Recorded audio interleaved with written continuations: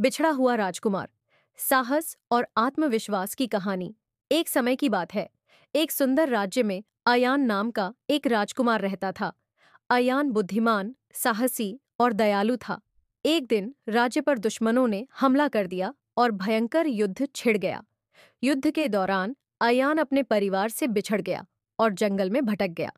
जंगल घना और डरावना था, लेकिन अयान ने हिम्मत नहीं हारी। उसने अपने दिमाग का उपयोग करके खाने के लिए फल और पानी के लिए नदी ढूंढी। एक रात जब अयान थकाहारा एक पेड़ के नीचे सो रहा था तो एक बूढ़ा साधु वहाँ से गुजरा। साधु ने अयान को देखा और उसकी मदद करने का निर्णय लिया। अयान ने साधु को अपनी पूरी कहानी सुनाई। साधु ने अयान को सांत्वना दी और उसे अपने आश्रम में ले गया। वहाँ अयान ने ध्यान, योग और आत्मसंयम की शिक्षा ली। साधु ने उसे सिखाया कि सच्ची शक्ति आत्मा में होती है, न कि बाहरी वैभव में। कुछ महीनों बाद, अयान पूरी तरह से मज़बूत और आत्मविश्वासी बन गया।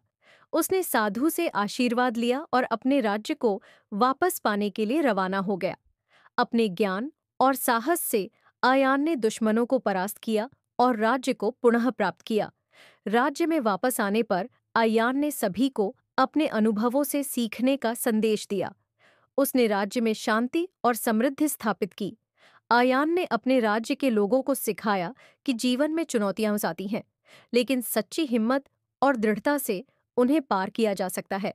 इस तरह बिछड़ा हुआ राजकुमार न केवल अपने राज्य को वापस पाया, बल्कि अपने अनुभवों से एक बेहतर और समझदार शासक भी बन गया।